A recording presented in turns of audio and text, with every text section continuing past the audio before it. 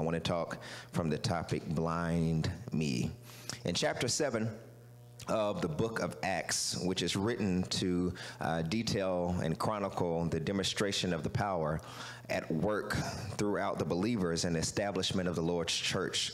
Um, the Lord's church uh, in the Greek um, is called ecclesia. Ecclesia is the word that means called out ones. Um, we find Stephen sharing his testimony um, in this particular chapter, chapter 7, sharing his testimony after being captured by the leaders of the town. Stephen had been preaching and sharing his faith with the glory and the presence of God on him, um, and the non believers did not like what they were seeing in Stephen. They captured Stephen and they brought him before the priest to be tried.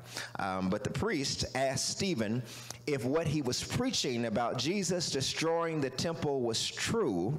And Stephen responded unflinched by their question. And he responded with beginning from Abraham to Isaac from Jacob to Joseph, from Moses all the way to David. He went through how each leader how each prophet offered sacrifices that were not sufficient enough for the people or to cleanse the people, and how the people constantly rejected the prophets that were sent to help them. Stephen ended his message in chapter 7, his preaching that he was doing, and he said to the people that were trying to accuse him, he said to them, he said, many years later, he said, prophets have come and you're still rejecting the people. He said, You are a stiff necked people. You still reject when God is trying to send you help. And the people obviously were upset the people had rage when Stephen spoke of this, so much so that the people commenced to wanting to stone him. Not only just wanting to stone him, they picked up stones to begin the process to stone him. But this is what's interesting because I don't want to lose you. I'm going to teach a lot. But in this chapter, in verse 55 of chapter 7, it says, But Stephen, still full of the Holy Ghost, gazed up into heaven while he was being stoned. And he saw Jesus standing on the right hand of God. And I want to stop here parenthetically for a second just to say to you that just because you're receiving attack does not mean you're not filled with the Holy Ghost. Matter of fact, maybe the reason you are being attacked is because you do have the Holy Ghost.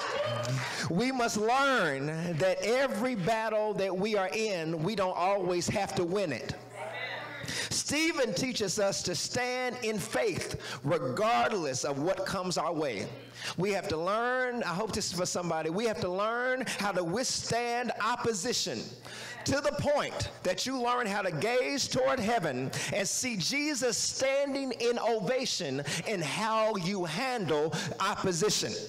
Others may not stand for you. Your friends may not stand for you. But if Jesus stands for you, it does not matter who else does not notice. You have to learn how to go through while you go through, look up and wait to see how heaven is responding to you. And I don't know who that is a word for today. Some of you all are waiting to respond to the opposition that is coming against you, but you have to learn how to be stoned and be silent.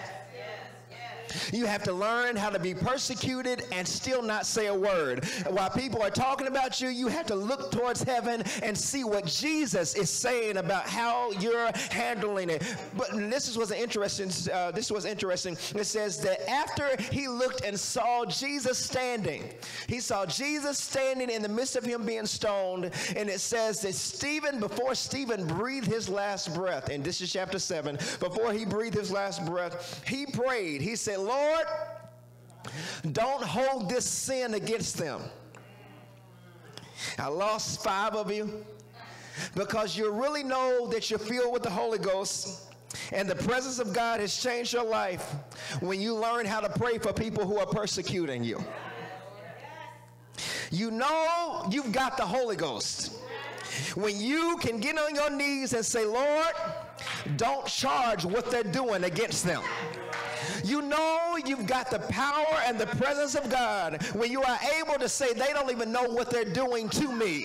Father, bless them in spite of the attack. They're actually learning. They're actually teaching me how to pray. They're actually teaching me how to believe in you. Lord, don't even hold it against them. They're just a piece of the puzzle. You know what you're doing. Lord, I pray for them instead. The scripture says, pray for them who despitefully misuse you.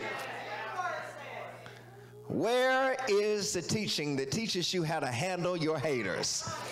Many of us want to rebuke haters, but you need to learn how to pray for them because they are part. We cannot have a cross unless there's a Judas. While you're praising God for the cross, praise God for the Judases in your life who teach you how to pray and teach you how to believe God instead. Hallelujah. I just want to say that. But this is what is interesting. That's one thing that Stephen prayed. But even though Stephen stayed true to his call, even unto death, we are introduced to Saul in chapter 8.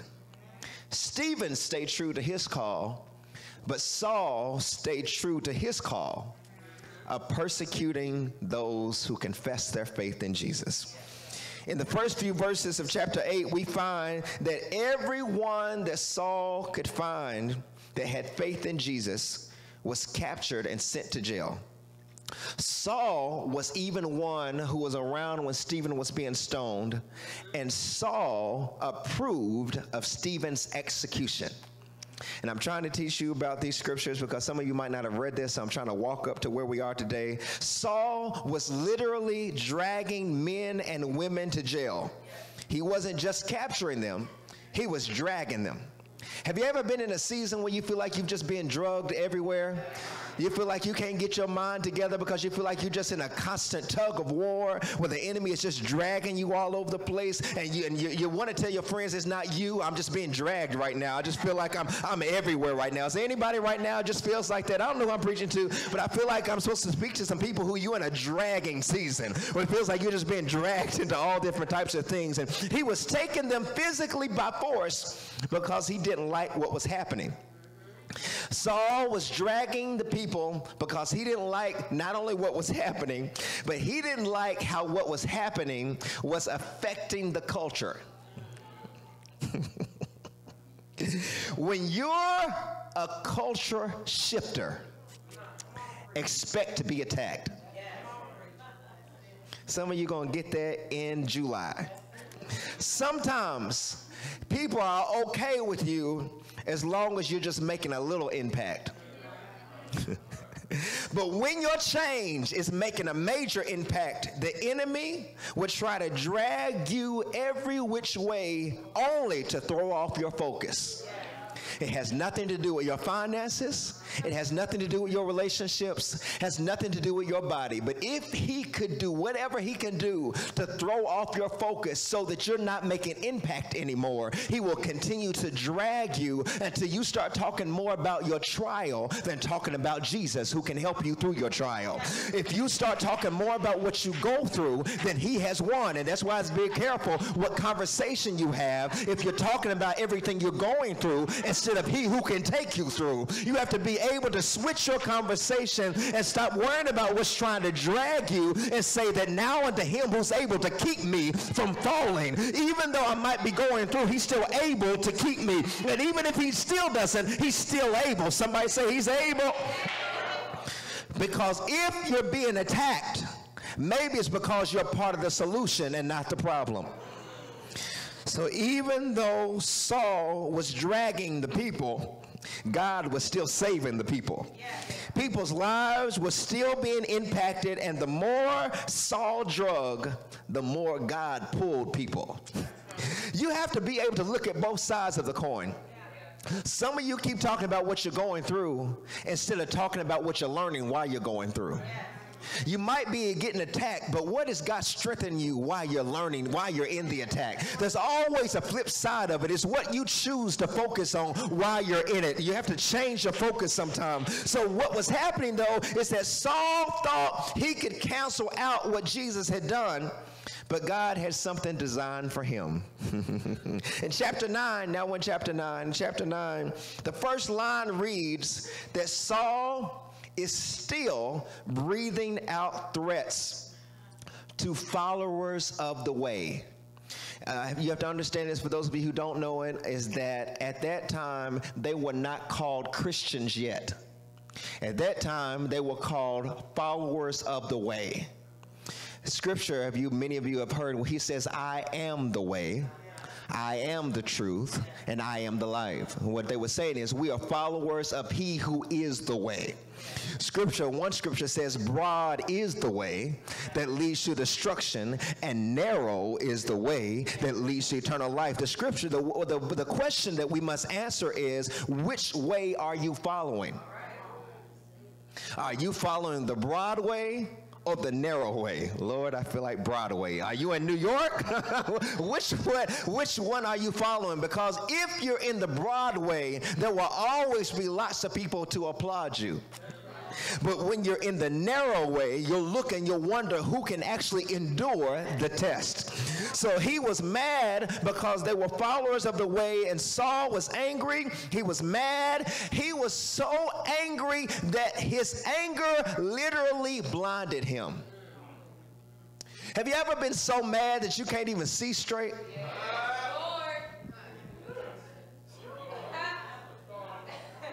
Have you ever been so angry that you see red?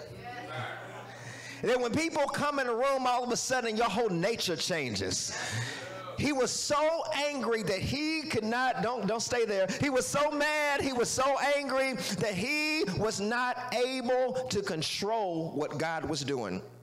Now, it was interesting because it's one thing to be blind naturally because when you're blind naturally, you're blind by natural occurrences and, and you're accommodating. Uh, when you're blind naturally, you can get all types of accommodations. There are all different types of street signs that are there for people who are blind. There's all different types of dogs that are there for people who are blind. And, and there's different things for places of employment. There's braille that you can use and all that type of stuff for people who are blind. And the world adjusts to you because you're naturally blind people are made aware of it because you're naturally blind. But what happens when your blindness is not known?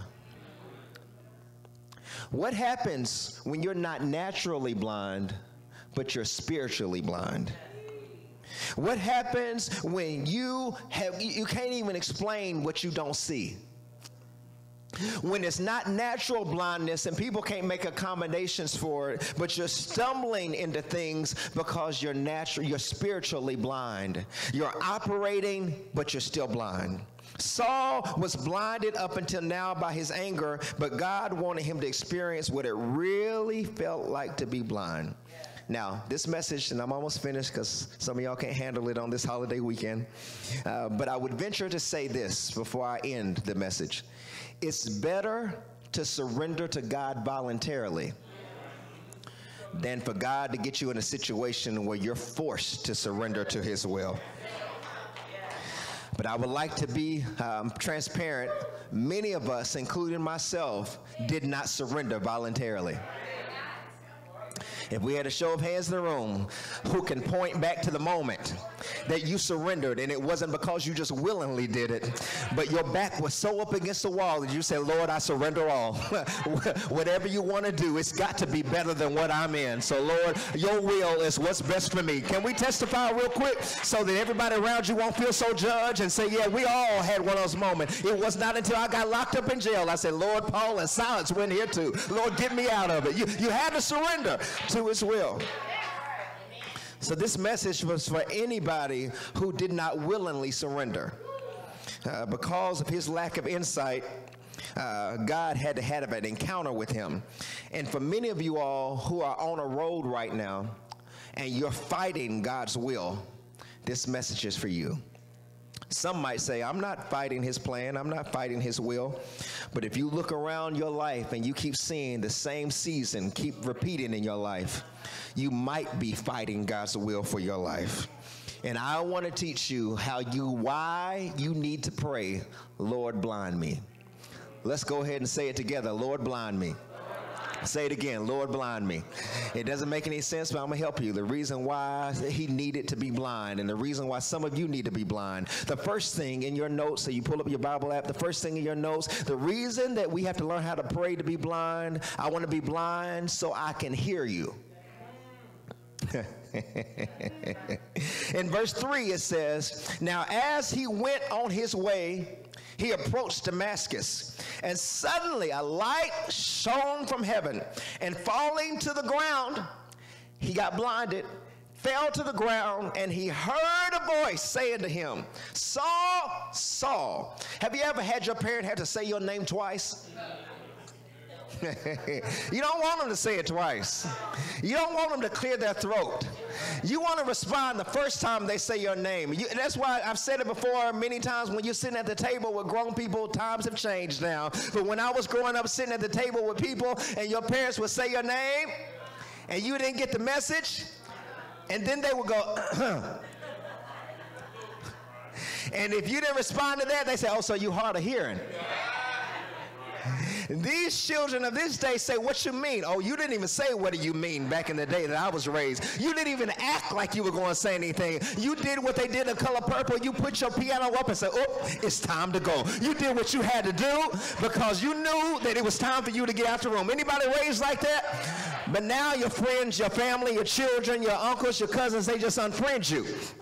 But my mama used to say, okay, I don't want to be your friend. I don't care nothing about being your friend. But excuse me. Sorry, I had a flashback. He says, Saul, Saul, why are you persecuting me? And he said, Saul said, Well, who are you, Lord? And Saul said, I mean, what Jesus said, he said, I'm Jesus, whom you're persecuting. But rise and enter the city, and you will be told what you are to do. Saul was about 120 miles outside of Jerusalem, which was uh, filled with, with Jews and people who were professing their faith. And now he was on his way to the capital of Samaria, Syria, called Damascus. Some writers say, that he was approaching a bridge in Damascus. He wasn't in Damascus yet, but he was approaching it and he was on a bridge. Now, I don't know if he was on a bridge or not, but what I do know is that this was a crossing point in his life. The light was so bright that it knocked him to his ground, to the ground, and he heard a voice saying, Why are you persecuting? One version says, Why are you kicking against the goads? Why are you persecuting me? Why are you? It was, it was a, um, basically a connection with the ox, that when the ox were in the fields and they would try to kick against what the farmer was trying to do. He said, Why are you trying to kick against my work? Basically, that's what he's saying. He said, Why are you trying to kick against me? He said, Why are you trying to fight my will? Saul didn't know the Lord, but the Lord already knew him. it's very important. Uh, scripture says over in Romans, he says that before he, he, he while I was being, he foreknew me. He had already predestined me. If you think that God don't know you, you got another thing. He's already, he, he made everything about you. Scripture says in Psalms 139, I am fearfully and I am wonderfully made. That's why you have to be careful about trying to abort something that God knows. Let me get out of that. So here it is. God, Saul didn't know the Lord, but the Lord already knew him. Saul responded by asking him, Who are you? And Jesus said, I'm the one you're persecuting. Saul was so focused on uh, silencing the people that represented the new shift that he had never actually met the man behind the shift. this was after that Jesus, what's, what's happened for those of you don't know what the shift is, Jesus had just had died and he had got up from the grave and now he's up from the grave and all these people are saying he did just what he said he would do. That's a whole nother message. I, I wish I could preach that. He just, he did what he said he would do. Now, for those of you who are right in a season right now where you think God has forgotten about you, I just want to tell you, he'll do just what he said he would do. Whatever he told you he's going to do, he will do it. That's why you got to learn how to wait on him. You wait on the Lord. Look at somebody say, wait on him. I don't know who that's for. Whatever he said he's going to do, he's going to do. That's why he got up. He said, I got up just to tell you that I am who I said I am. I don't ever say anything I don't do.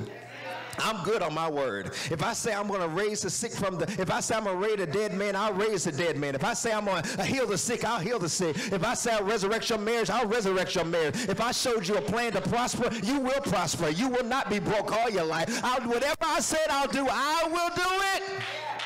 He said, I'm the one you're persecuting. He said, You're trying to fight me. He was trying, he, he was, uh, Saul was after the people, but he didn't know who he was fighting against.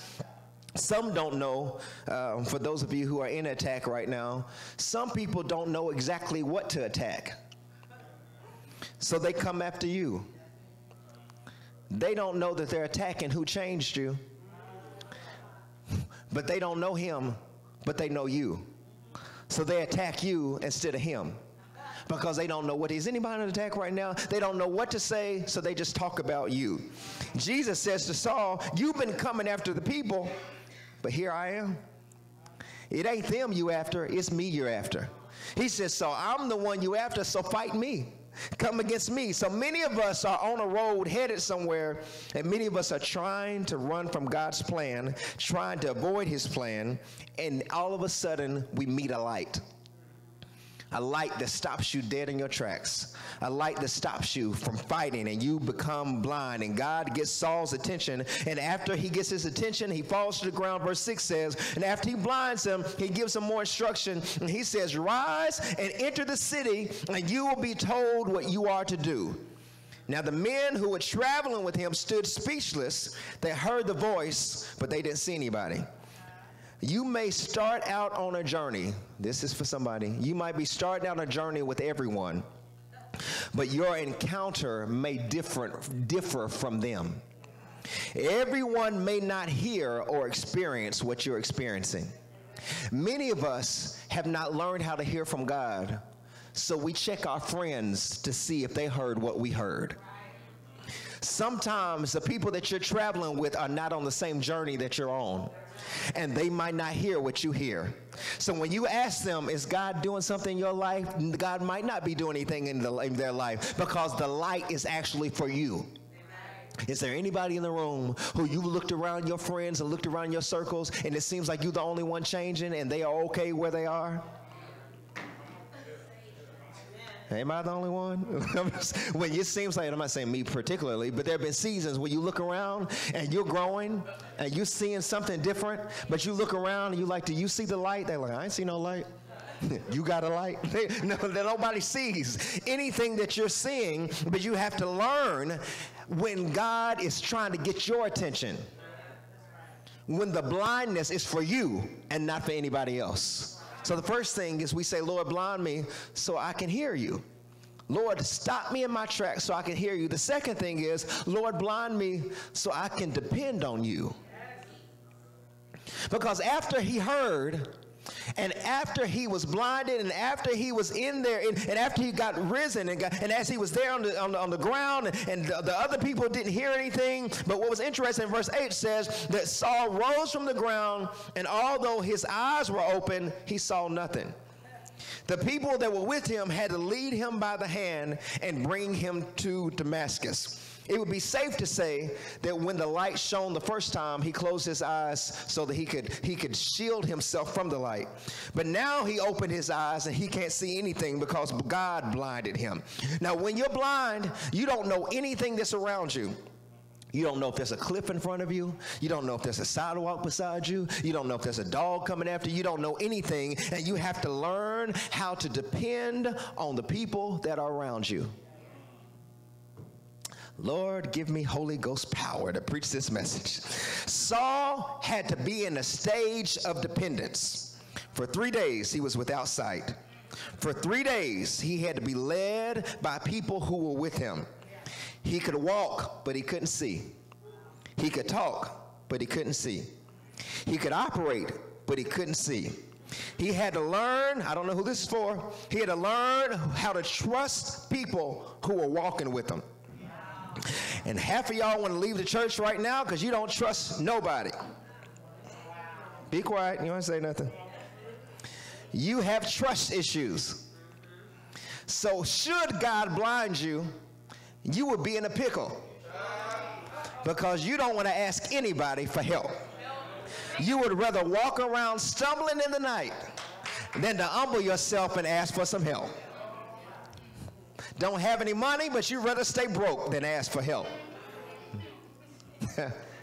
you won't even go on a blind date. So you stay single, but your friends keep trying to introduce you to a knight in shining armor, but you won't even go because you don't trust anybody.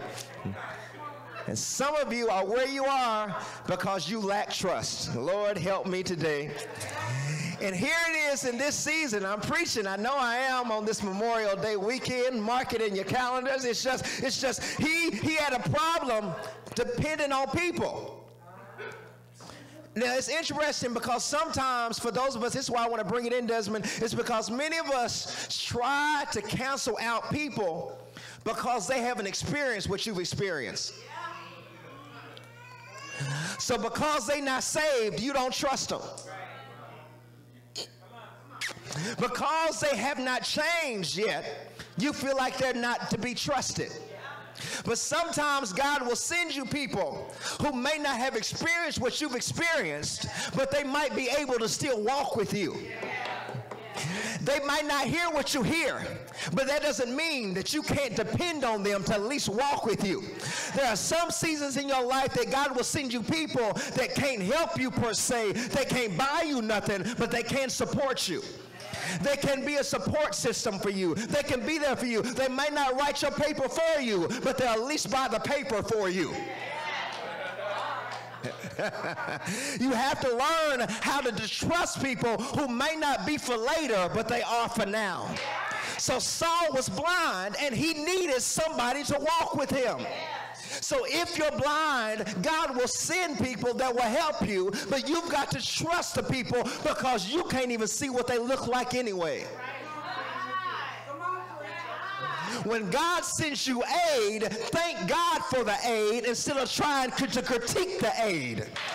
Uh, there was this story of a person who was drowning in the midst of an ocean, and the person asked God to deliver them and God get them out of the water. So, so God sent a little boat, and God sent a little boat to, to, deliver, to get the person out of the water. And the person said, No, I'm waiting on God to, to get me out of this and keep me from drowning. So the boat went on. And then another person came swimming, happened to swim in the ocean. And they were a person who was agile in swimming. And they said, Here, are you drowning? He said, No, I don't want to, I don't want you to help me. I'm waiting on God to save me. And all of a sudden, a, a, cruise ship was going to the Bahamas, and a cruise ship just happened to stop in the midst of the ocean and look at this drowning person and say, Hey, would you like to sail and get on the cruise and go to the Bahamas? They said, No, I'm waiting on God to save me. And all of a sudden, the full self drowned in the ocean. And when the person opened up his eyes and went to heaven, he said, God, why did you not save me? I asked you to save me. He said, I sent a little boat, I sent somebody who was swimming, and I sent you a cruise ship. You died because you are full. I sent you help, but you didn't like the help I sent. And that's what's wrong with a lot of us. God keeps sending help, but you don't like the help God sends. Preach, boy. Sometimes God will send you help, but you don't like what he sends. Don Treese, I'm trying to preach it today. And we keep overlooking people that can help us walk. Now, his issue wasn't just trusting people, his issue was learning how to depend on God. Because when you're in a season of not knowing what's next, you have to learn how to depend on God. That's why David said, Lord, order my steps. You have to learn how to not make a step before he tells you what to do some seasons, it might seem like a long season, but some seasons he'll tell you to be still don't move. And the reason that some of us keep messing up is we keep moving when he tells us to be still. Sometimes he tells you to stop talking and you keep talking. And the reason you keep repeating season is you won't get the spirit of hush your mouth and you keep talking. And God's saying, I told you not to say nothing. So you have to learn how to depend on him even when it doesn't make sense. Who am I preaching to in the room? When was the last time? I feel Jesus. When was the last time you lifted your hands towards God and said, God, I depend on you? I don't know what it looks like. I don't know if this season is going to change. But in the midst of this season, Lord, I depend on you. song we used to sing called Lord, I learned how to depend on Jesus. to learn how to depend on him even when it doesn't make sense. We used to sing a song, um, I want Jesus to walk with me while I'm on this tedious journey. It's an old word. Nobody says tedious no more. Nobody picks up the phone and says, What's going on in your journey? It's tedious. It's so tedious and so tiring. But anybody ever been on a journey where you had to look towards heaven and say, Lord, if you don't walk with me, if you don't walk with me in this job, if you don't walk with me in this meeting, Lord, if you don't walk with me in this relationship, Lord, if you don't walk with me with my children, Lord, if you don't walk with me to the grocery store, my EBT has not been refunded. Lord, if you don't walk with me before I swipe, if you ever had to look towards heaven and say, Lord, just walk with me today. I, I need you. I ain't asking for Monday. I'm saying today I need you to walk with me. I need you to walk. So Saul was blind. The people couldn't give him his eyesight back, but at least they could walk with him. Sometimes you get mad at people for wanting them to give you what they cannot. Saul was blind. He didn't need eyes. He needed somebody to walk with him. And some of you are getting upset with people because they can't give you what they're not capable of giving you but they can walk with you, but they can't give you sight. So you have to learn how to appreciate people to say, Thank you for giving me what you can. Thank you for giving me what you got. You might not have a million, but let's split this five and let's go to Wendy's because I heard they got something we can eat. Let's do what we can do. Split these fries, split that burger, and let's have us a lunch. You have to thank God for people who can do what they can do. And if that's all they can do, don't judge them for what they cannot do. And sometimes we try to qualify people who are not qualified. So he said, and as I'm saying, Lord, blind me so I can hear you. I'm trying to get through this. I feel like an old scripture that the preacher say as I hasten to a close. So, so we want to say, Lord, blind me so I can hear you. Blind me so I can depend on you. Now this is going to be harder one. Y'all thought that one was hard. Next one is Blind me so I can trust you and who you send.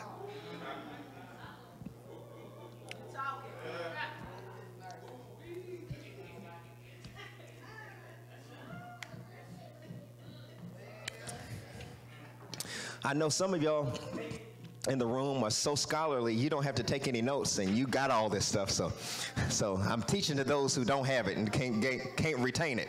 I'm, I'm what they call a slow learner.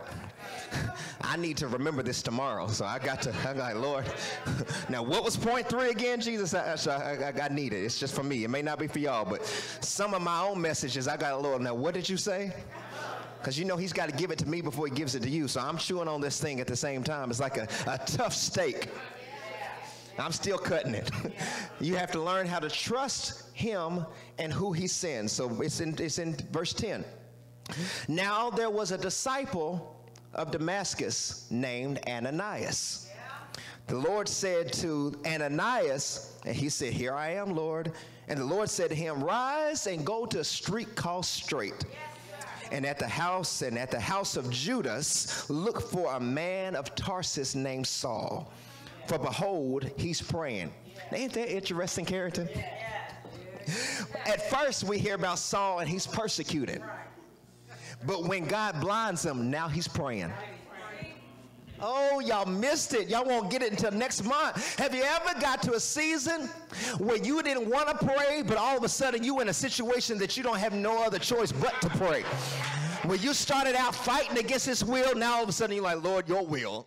have you ever been in a season where it, it switched quickly? Where one minute you were ready to quit your job and the next day you praying for your employees. You praying for your supervisor. And you saying, what happened? Oh, Lord, he changed me. Because he told me I can fix this employment, unemployment thing if you want me to. I can get you without a job. I said, Lord, don't take my job. So, Lord, I'm going to pray for them.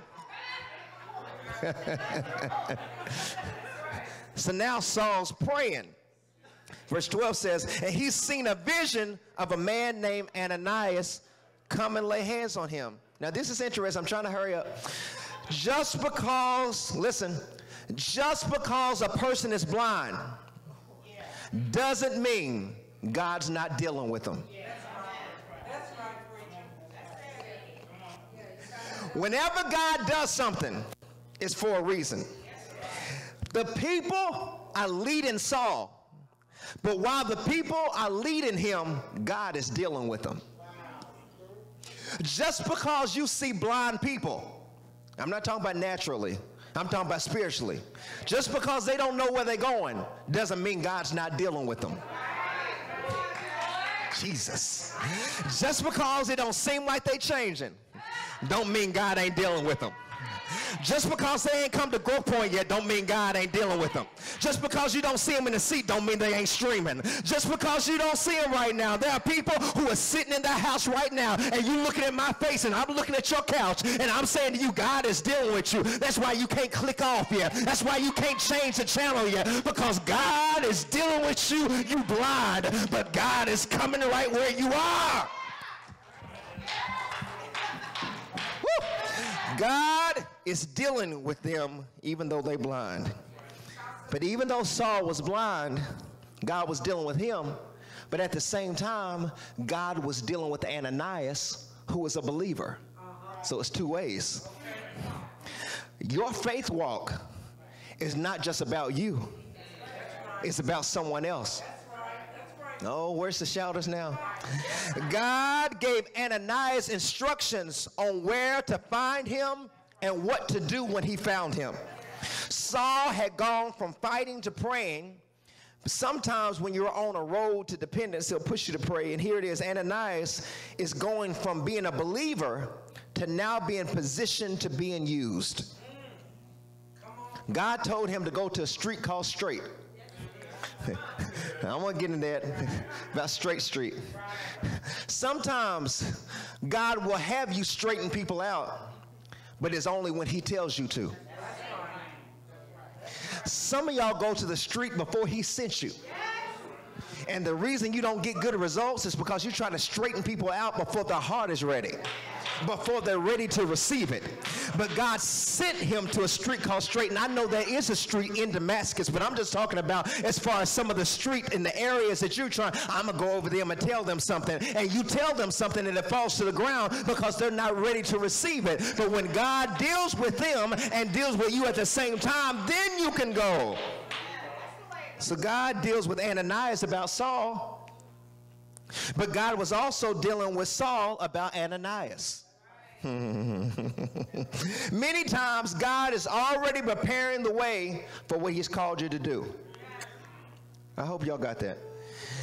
Sometimes you might not see them yet, but God is already dealing with them. In verse 13, it says, But Ananias answered, Lord, I heard from many about this man. You telling me to go to this man, but I've heard about him, and I hear he has authority to kill people. He said, And you want me to go deal with him? The Lord responds in verse 15. He says, Go, for he is a chosen instrument of mine. Have you ever considered that some of the people that might be attacking you might be chosen? He said, I've chosen him as an instrument. I've chosen him as an instrument to carry my name.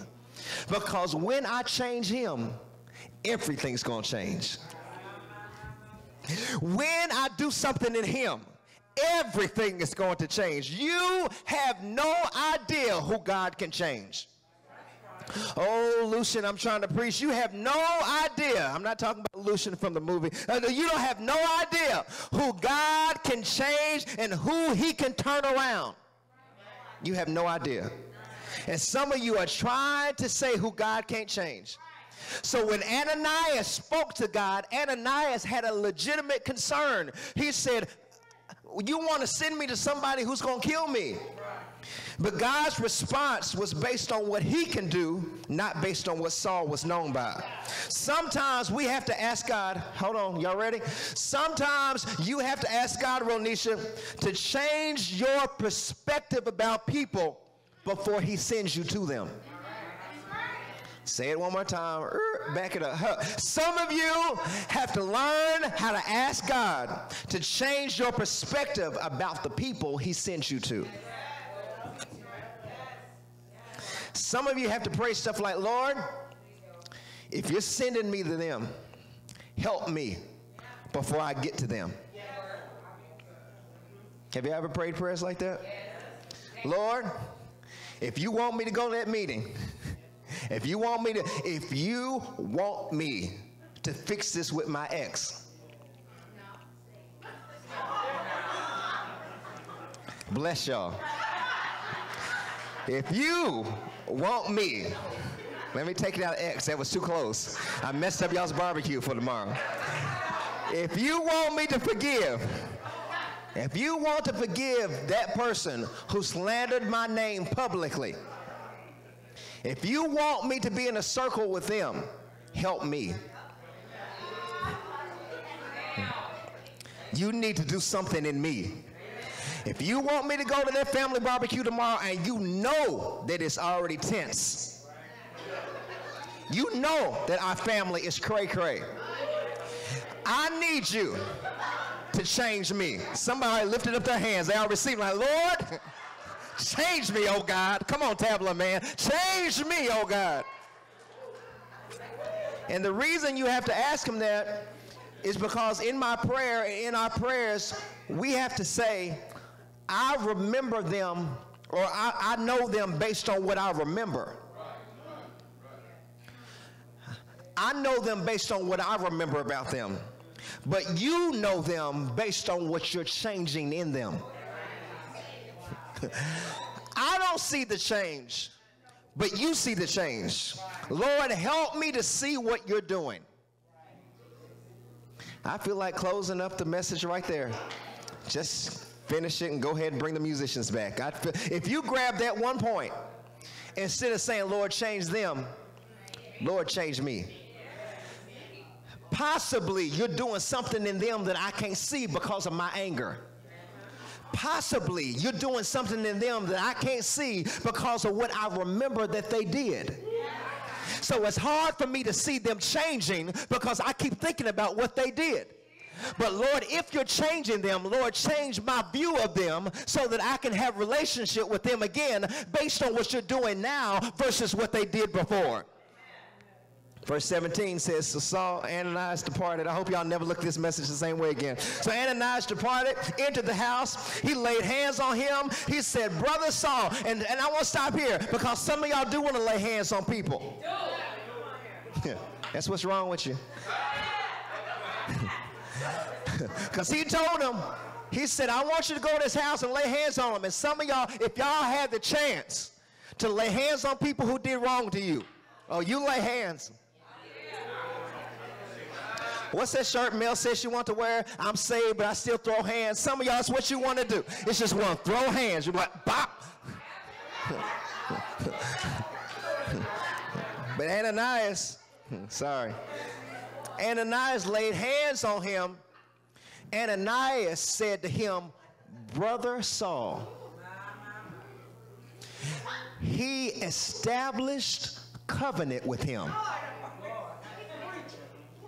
He was blind, but he said, But for where you're going, I'm going to establish covenant with you. I'm not going to call you persecuting Saul. I'm saying, Brother Saul. Can you say brother to your enemy? Can you say sister? Tom and I'm sorry, I keep doing it. Can you say sister to the person that you that, that you know did you wrong? Can you say sister to him instead of saying you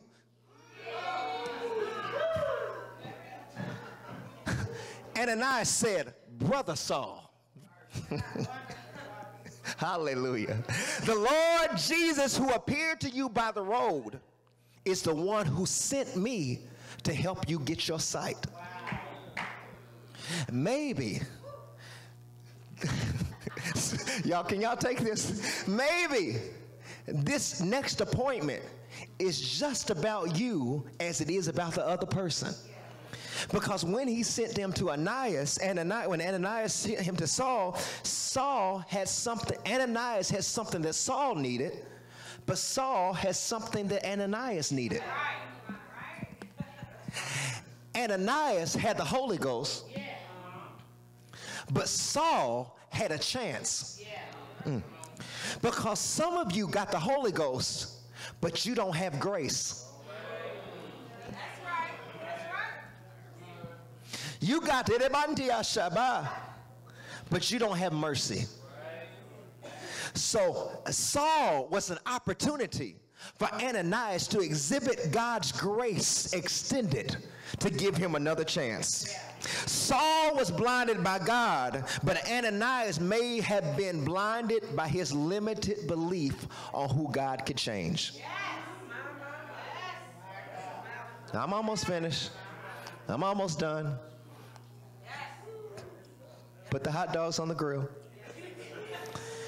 We are not just saved just to be around other saved people.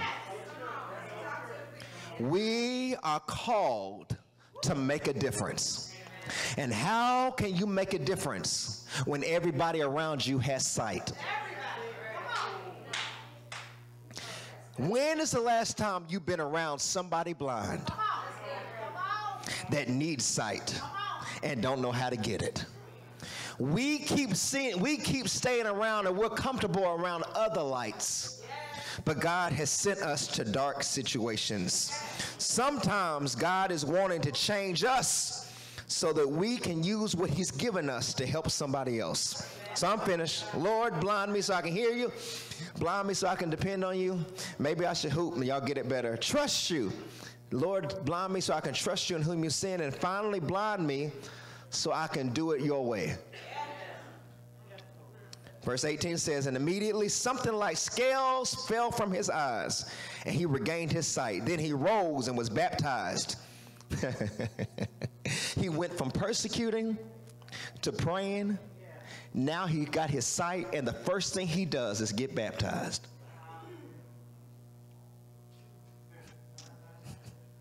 All right, move on, Mario. They don't want to shout about people getting baptized no more.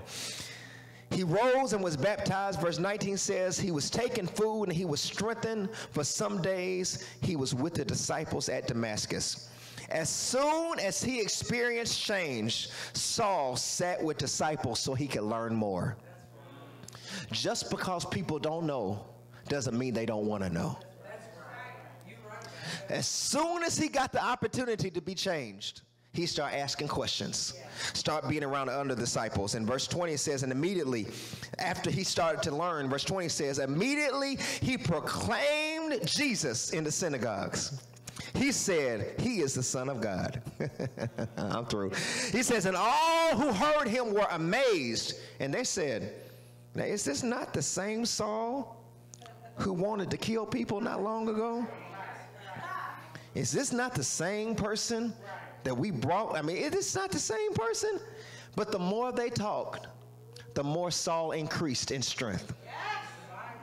Saul went from being feared to now being questioned. Do you know you can't win on either side? If you're wrong, people don't like you being wrong. And then when you change, people don't like you changing. So if you learn to stop living for people, Stop living for the ground and start living for Jesus. It doesn't even matter because you're going to lose on either side. So the people were upset with him because he was, one minute they didn't like him because he was persecuted, and now all of a sudden he's proclaiming Jesus, and they're looking at him and they're saying, Isn't this the same man? But instead of him fighting them, he didn't say nothing. Now you have to understand, don't get it twisted. Don't think they're in a fighter in him. He's just choosing not to fight. Some people sleep on you because you don't cuss them out like you used to.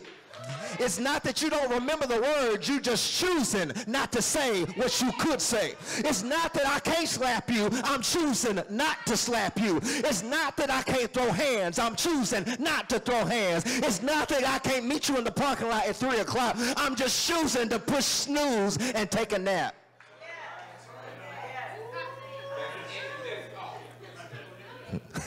I'm choosing. I'm choosing not to respond to your foolishness. Look at somebody and say, I made a choice. Tell somebody else the wrong person. That's the person you're mad at. Turn somebody else say, I made a choice. We used to sing a song, The Road is Rough and the hills are hard to climb. But I started out a long time ago, and now I know that there's no doubt I have decided to make Jesus my choice. Is there anybody who made a choice to say, I ain't going back, even though you tried to make me go back? I ain't going back to that. So Saul said, Saul said, real change has happened in me. I'm going to let y'all talk. But the more you talk, the more you talk, the more I increase. Do you know some people are just free advertisement for you? People wouldn't even know about you until they talk. Do you know how many people I meet in the store and I don't even know them? But because people just be talking, they were like, you know, I heard about you. I'm like, what you heard?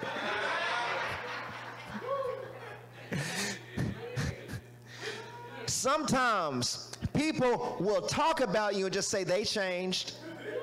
They ain't the same person no more. Really? Girl, they ain't. There's something different about them. And you have to learn how to let people talk. I'm finished. I'm through here. Now, this is what's interesting. I'm going to say this real quick and I'm through. I'm through. I'm through Singleton. Come up and sing altar call song. I'll be through. So this is interesting. Because we say, Joanna, we say that, and many of y'all have heard this, and I even preached this, and I preached it wrong. We say that God changed Saul and changed his name to Paul. Is not biblical. God did not change Saul's name. I lost half of y'all. You're like, what? God did not change Saul's name to Paul. But according to scripture, in the Hebrew language, when God said, Saul, Saul, why are you persecuting me? He called him according to his Hebrew name, Saul. And when Ananias went to him, he said, Saul. And when other people called, he said, Send me Barnabas and Saul. But when Luke came on the scene around maybe Acts the 13th chapter, he called him Paul. Same person. Now we're saying, well, why did he call him Paul? Because the Greek, in the Greek culture, Saul meant Paul. Same person, called by different names. So in Acts the 26th chapter, y'all read it when you get a chance. Acts the 26th chapter, when Paul is standing before Agrippa and he starts to talk about his change, he said, I remember when I was fighting against God. And this is Paul talking. He said, I remember standing there and I was walking on the streets of Damascus. And all of a sudden, while I was walking, a light came from heaven. And he said, Saul, he called me by my Hebrew covenant name. And he said, Why are you kicking against me? And I remember surrendering to his will. And here I am standing before you. You call me Paul, he called me Saul. Some of y'all think that when God changes you, he's got to change your name. Oh, I need a Hammond Kia E flat. You don't need God to change your name to change you. Sometimes God will keep your name just to remind you that you used to be a I'm sorry, you used to be what you are, and you need somebody to call you by your former name so that you can remember that if it had not been through the grace of God on my life, I would not be here. You don't need him to change your name. You need your name to be the same so you can remember that if it had not been for the grace of God, if it had not been for his hand on my life, that it's by grace that I have been saved. It's not based on my works. Call me what you want, but I know what happened in my heart. Say what you think. You, you can talk about how I used to dance at solid platinum if you want to. But now I can tell you how I'm just somebody who came from solid platinum, but now I'm going to walk on streets of gold in my same heels. Tell somebody what he did in your life. Call me what you want. They used to you used to cuss like a sailor, but now I'm preaching like Paul. You used to drink them under the benches. I'm still drinking, but it's the wine of the Holy Ghost. I, I, ain't done nothing. I still got the same cup, but now this cup makes me drunk in the Holy Ghost. And don't stay around me too long because you might want some of this thing too. You don't have to change your name, but it's got to change your character. Your name can stay the same, but let them change your character. So when Saul he said, You can call me Saul, you can call me Paul. I don't care. But what he calls me is changed. Don't care what you call me. A lot of people say, You didn't call me evangelist. You don't have to call me evangelist, nothing. You can call me Midnight Rousley if you want to. I don't care what you call me. It ain't about what you call me. It's about what he calls me. And what does he see me? What does he see in my life? There's something that happened in my heart that you cannot see. Thank you for watching the message, but I want to make sure that you're connected beyond the message. Visit our website or stay connected to all of our social media sites so that you can find different ways to get plugged in. I would love to meet you on Sundays at 1 p.m. or our first Tuesdays for our Impact Night. Be sure to like and subscribe and even share this channel so that we can continue to reach people. If you would like to help us even reach people further, please click the Give Now button when you visit our website. Thank you, and I'll see you next week.